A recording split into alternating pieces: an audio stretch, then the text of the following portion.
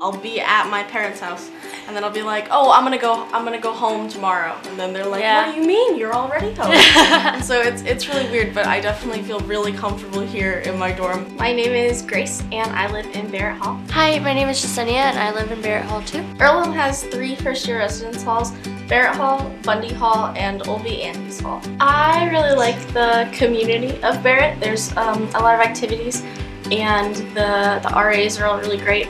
And it's nice because um, all the people on all the different floors are fun, so I don't feel like I just have to stay on my own floor. I can go to other floors and hang out with people um, in the lounges or in their rooms. So we have a lounge area on every floor. We also have laundry on every floor, which is really convenient, and a kitchen on every floor.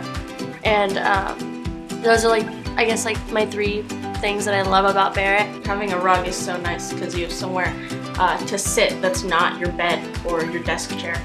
Um, and along with that, I would also bring a just a regular chair to sit in, like um, like the kind that kind of folds up, and also extra hooks because you want to be able to hang up, especially in the winter. Um, you can get like Yeah. an over-the-door coat hanger, and you then you don't have to worry about putting your coat in your closet every time you come in the room.